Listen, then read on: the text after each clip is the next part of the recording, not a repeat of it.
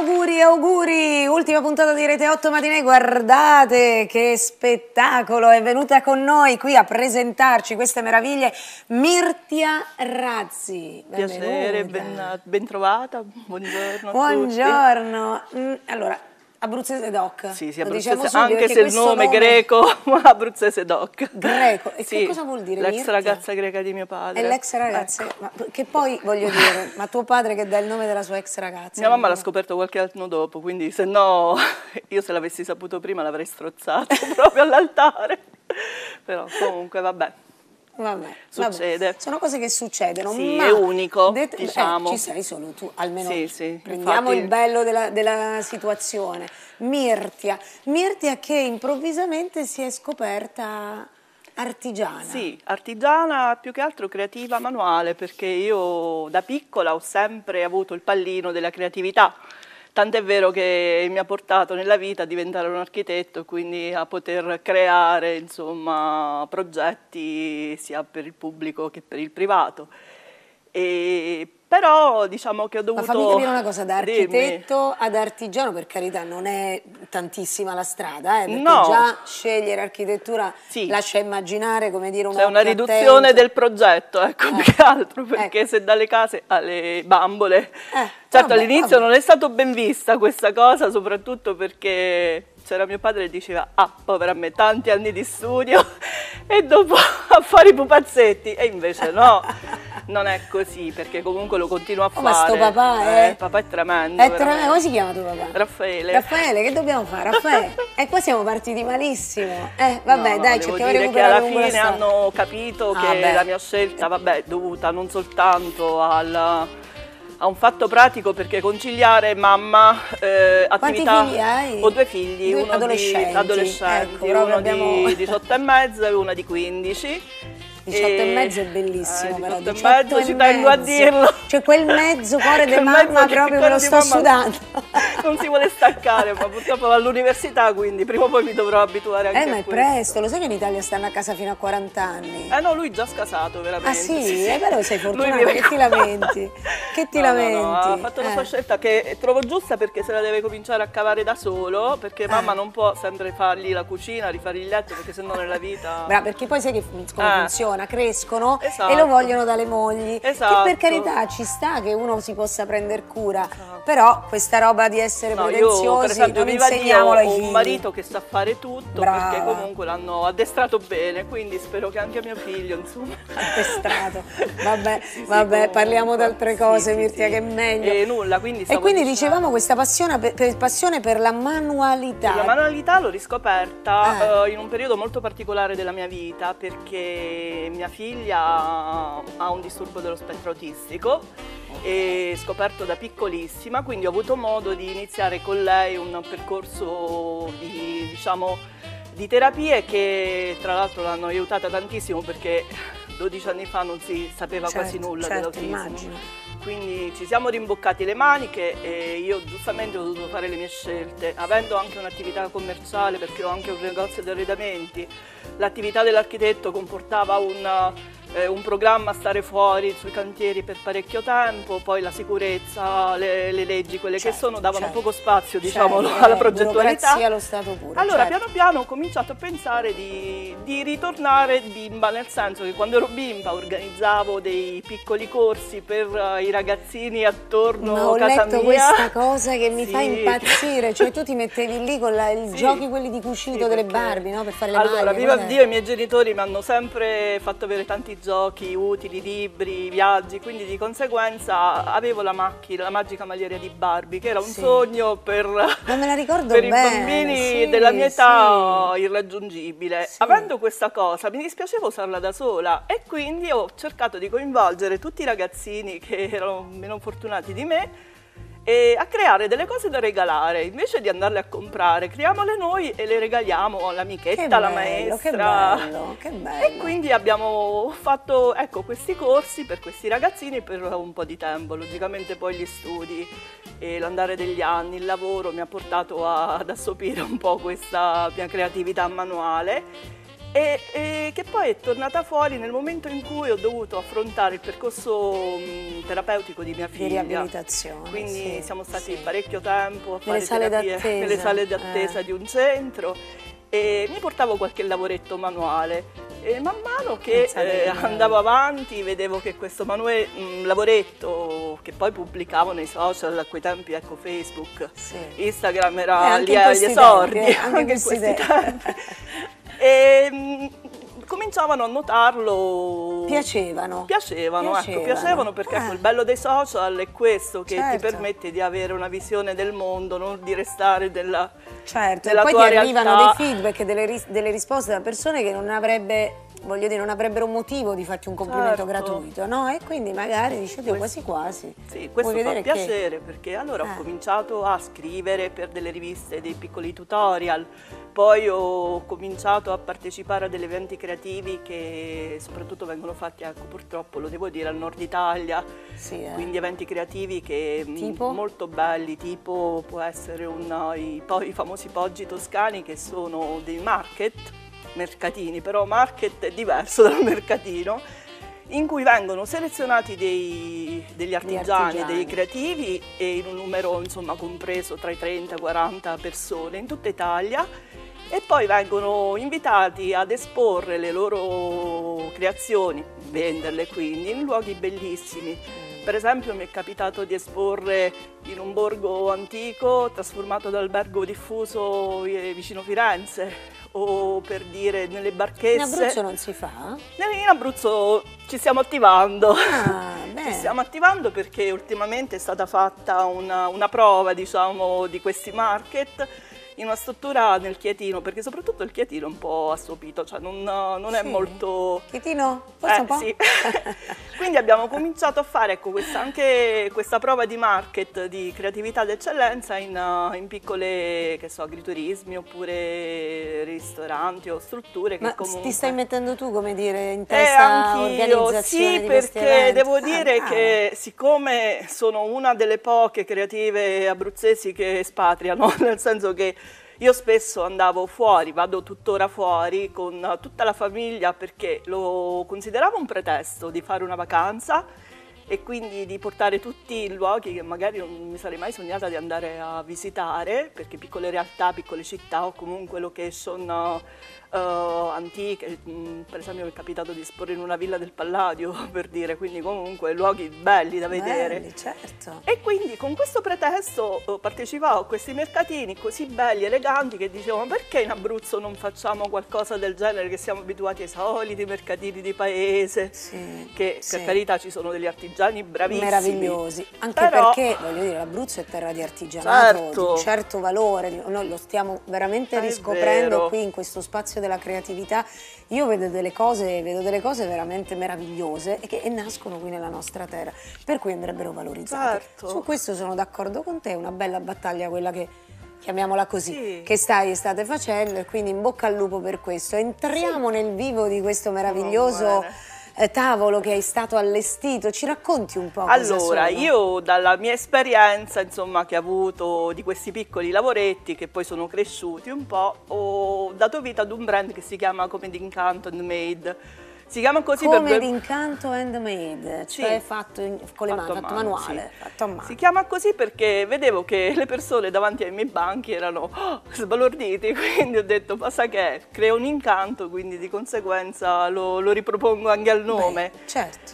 E diciamo, la, eh, l'aiuto ce l'ho anche da parte del marito, perché ah, altrimenti ecco, ecco, sarebbe ecco. improponibile cioè, per tuo marito me. si mette con te a sì, fare però non la parte di cucito, la parte del restyling delle valigie vintage ah, e di vedi. piccoli mobili, che io poi tappezzo ah. con delle stoffe particolari che cerco in tutta bello, Europa. Bello. Ecco, perché dal negozio, per esempio, ho avuto l'opportunità di conoscere delle aziende di tessuti particolari, non fermarmi alla solita merceria, andare oltre. Quindi... Perché tu e tuo marito avete aperto una bottega insieme? No, no, io ho un negozio no. di arredamento dove ah. non espongo nulla di quello che faccio. E perché? Come perché mai? questa è una terza, diciamo, è una passione, non è una terza attività perché la tengo ancora come sogno nel cassetto. Scusa, la prima è che fai ancora l'architetto? Allora, la prima no. ho un negozio, ho la partita IVA insomma come certo. architetto e poi con la speranza di dar Quindi in sfogo anche a è questo, terza questo- attività. è questa Ok. la terza attività. Ok.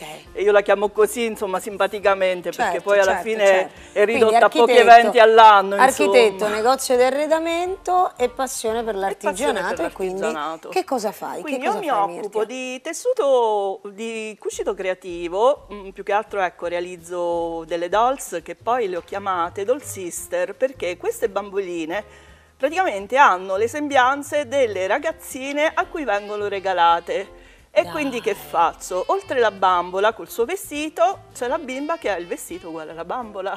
No, vabbè, bellissimo. Ora purtroppo qui non Cioè, c'era tu spazio. realizzi i vestiti sì. per- uguali alle bambole Uguali per i alle- bambini. Logicamente quando era Che piccola bello. mia figlia era la mia modella, Eh quindi certo, lei certo. insomma la- si prestava, adesso non più perché Quanto ha adesso? ora 15 anni, quindi dal rosa siamo passati al nero senza le sfumature. Lascia perdere. Eh. E di conseguenza quindi ho creato questa linea di bamboline, doll sister, che fossero simili alle sorelline più grandi, diciamo. Certo. Poi ecco, realizzo le foglioline che sono delle piccole fate dei boschi e di solito le accompagno anche con la Perché le storiella. foglie? Ah, perché c'è una Perché foglia. dormono dentro le foglie. Ma che carine. E queste molte mamme le Aspetta che acquistano. ne posso sì, prenderne sì, come no, vai, vai, fai pure. Esponi anche tu quello che ti fa comodo far vedere. Guarda che No, bella, guardate che meraviglia. Queste praticamente sono usate Vediamo. dalle mamme per i dentini, per, eh, come fatine dei denti per le Uh, bimbe. mi sta per tornare utile allora. E quindi per mettere il eh, Che classico meraviglia. soldino che passa la fatina la notte. Riusciamo a fare una bella inquadratura, un primo piano? Che mi si sta- il, il mio braccio si sta... Ok, eccola qui. Guardate che bella.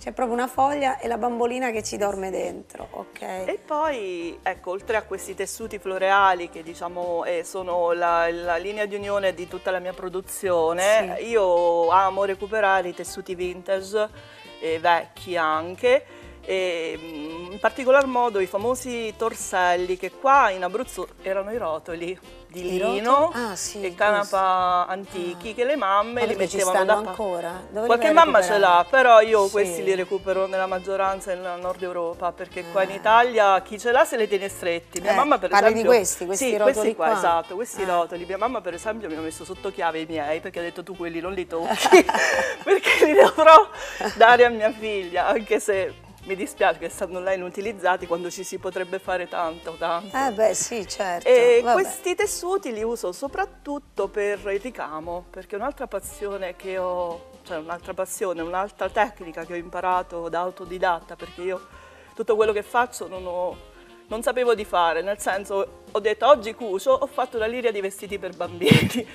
Che bello. Oggi Ce ricamo. l'avevi dentro, doveva Ce uscire. dentro, doveva eh, uscire. Sì, sì. Oggi Perché ricamo. guarda che brava che sei. E ho iniziato il Però ricamo vabbè, ti sei libero. appoggiata a dei tutorial online, qualcosa? No, proprio Tant'è così, vero preso- che io all'inizio non sapevo neanche che tipo di punti andassi a Ma fare. quanto è bella questa, mamma mia. Ma guardate anche... Sì, sì. Oddio, Oh, pa- scusa, no, mi sto facendo problema, danno. eccolo qua. Guardate sopra che bel ricamo che ha questa, questa meravigliosa bambolina, che poi non è una bambolina, Una- ma è una topolina. Una topolina.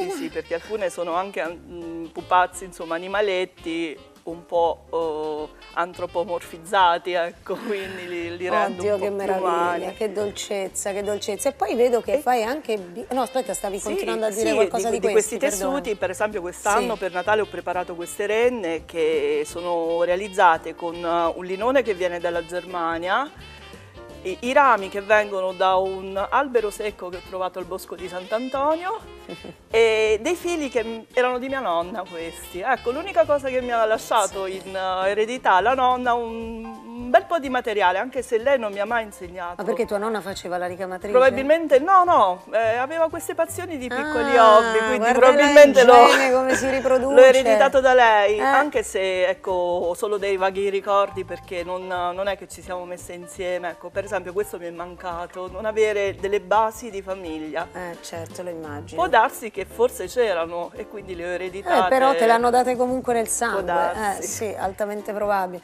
Quindi anche i ceppetti che vedo al Sì, posto delle gambe sì, questi di queste renne. presi dai boschi o comunque queste in particolare vengono dal bosco di Sant'Antonio. Quest'anno abbiamo fatto una bella gita quindi siamo andati Tu quando vai in gita fai Sì, rifornimento di di, foglie, di gambe di- e corna. esatto, di zampe e corna. Poi ecco, oltre questo realizzo anche degli accessori per casa, tipo questi runner che sono praticamente fatti da sempre da tessuti antichi e dei pizzi che ho comprato a Montmartre.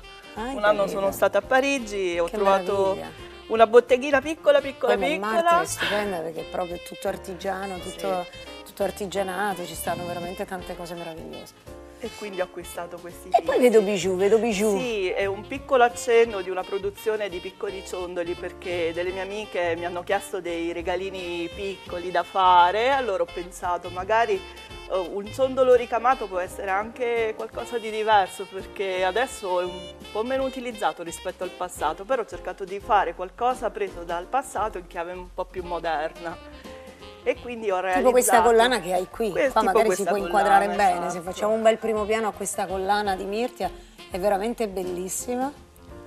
E queste come riesci a produrre? Perché è tutto ricamo. Sì, questo Sì, è tutto ricamo. ricamo. Ricamo su sono- che cosa? Cioè- Ricamo sempre sul linone, sul lino antico. Questi, tutti i ricami che faccio riesco a farli meglio su questi, su questi tessuti che sono molto ruvidi, grezzi.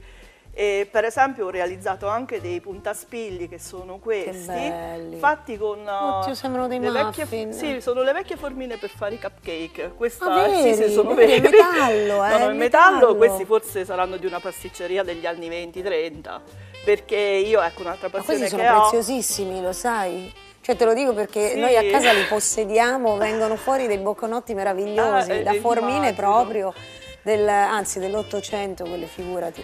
Però è Eh, per esempio, materiale prezioso, sì. Anche questa che poi è una collana Ah, vedi. trasformata in... però questo può essere proprio un puntaspille un per puntaspille sarte. per sarte può diventare anche. Che bello. E perché io un'altra passione che ho è per il vintage e per eh, il recupero di questi pezzi antichi che cerco Che nei vari bello. brocanti, nei vari rigattieri di zona, insomma vado alla ricerca per esempio anche con le valigie, noi, io e mio marito questo li cerchiamo oh, in Toscana, ma anche in Francia, a Londra, abbiamo delle Sono persone che ci aiutano a farli arrivare in Italia. Ma voi le, le restaurate, Sì, le, le restauriamo, le rimettiamo a posto, in più le foderiamo all'interno sempre con dei tessuti, ecco tipo questo, che sono dei tessuti che poi vanno a riprendere il colore del decoro. Che... Questa Dio, per esempio è una, è una cappelliera dell'Ottocento francese che poi abbiamo ecco, realizzato questo disegno. Che... Ecco, non si vede Cioè, perché è dietro, no, non si vedrà non mai, si vedrà mai, arrendiamoci, ve lo dico comunque. io, è stupendo. Comunque ecco, un è disegno stupendo. simile a quello della valigia bianca Sì, che sì.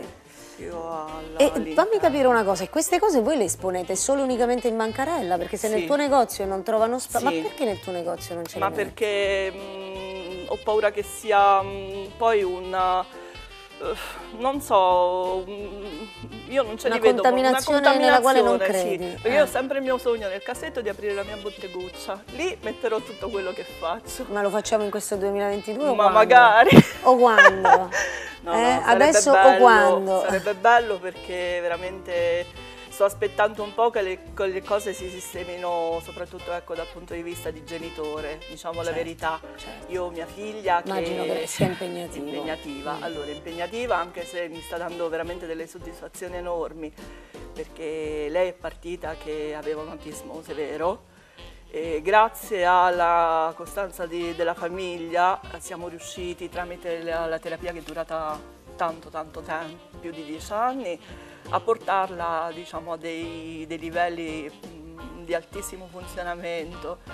E lei è geniale nel disegno, sicuramente sarà un'illustratrice da grande, grazie anche a, a dei piccoli passi fatti con altre mamme. Ecco, questo per esempio mi ha fatto scoprire anche un altro lato della creatività, la creatività fatta a fin di bene.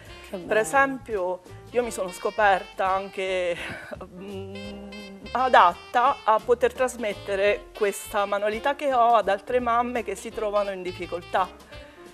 Per dire, io faccio parte di un'associazione che si chiama Asperger Abruzzo, Sì, in cui per l'Asperger proprio. Per l'Asperger, che Sì, comunque è un sappiamo. termine adesso un po' desueto perché è autismo, diciamo autismo a Beh, si è primo, tornato, secondo, si è tornato a parlarne livello. per Greta Thunberg, se Esatto, non sbaglio. Con lei si è tornati a parlare di Asperger. Anche se mia figlia mi bacchetta quando uso questo termine perché comunque... Come si chiama tua figlia? Margot. Ma, oh, Mirti, a Margot, che dobbiamo fare qua? Mi ci state facendo sentire piccoli proprio. No, no, con i nostri nomi comuni, da comuni mortali, vero? Eh, vabbè, vabbè, Margot. Eh, Ciao Margot, complimenti perché hai una mamma fantastica come sarai senz'altro anche Sì, tu. sì, anche lei, ma anche il figlio. però- Eh beh, come si chiama tuo figlio? Filippo. Ah, No, no, normalissimo. Filippo, Filippo, meno male, Filippo, ti No, sento no, vicino. Filippo.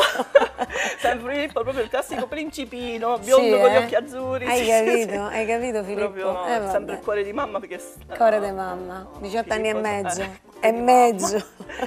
E quindi stavo Vabbè, dicendo... sì, eh, scusami, che- ti ho interrotto, ma insomma. Ehm, eh, mi piace ecco, trasmettere questa manualità anche ad altre mamme che si trovano un po' in difficoltà, nel senso che eh, ricevere una diagnosi Eh, eh. è tremenda, è una botta. Non se ne può parlare perché Ecco, non, non ci sono termini ci sono adatti per termini, raccontare solo quello che può provare un genitore. Può capire. E- Mi chino proprio, chino il capo. E quindi grazie al fatto che abbiamo creato questa associazione e ci scambiamo un po' delle parole di, di conforto, perché spesso ci riuniamo in chat, insomma, e così Che via. bello.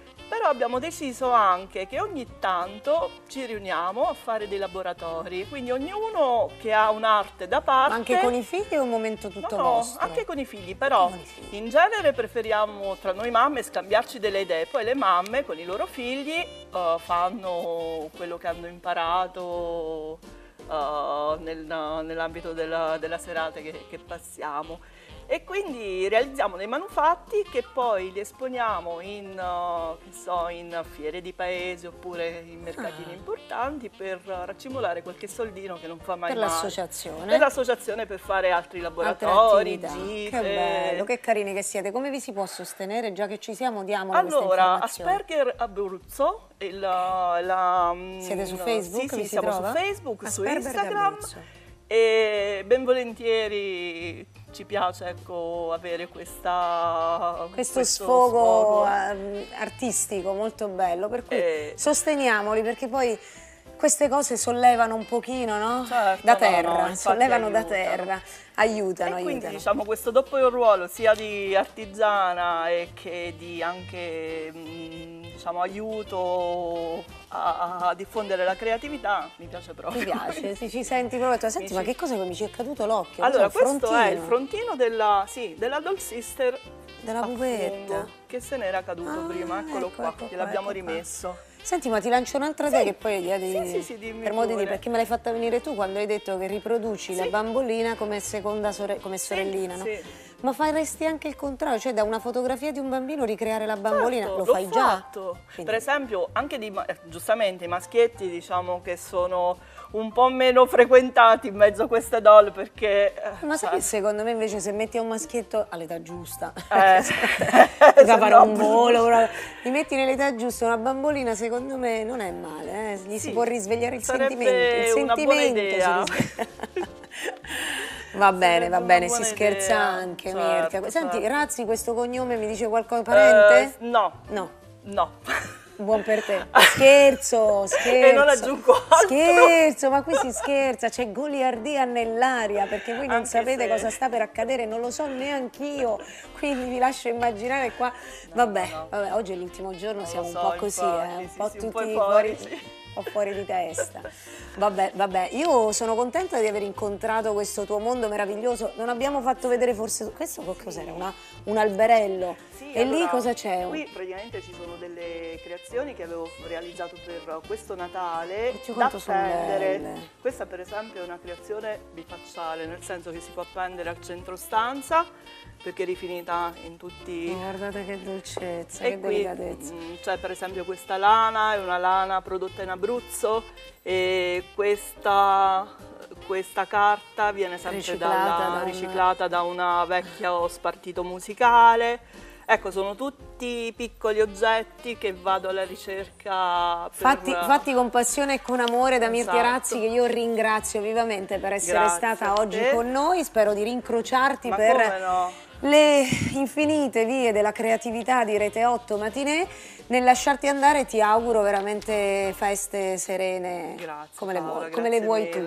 Auguro a tutti voi e a tutte le vostre famiglie e speriamo di ritrovare un po' di serenità che Speriamo. ci ha portato via questa pandemia. Eh già, questa è la cosa più vera che si Esatto. possa dire. Io ti ringrazio, noi ci fermiamo.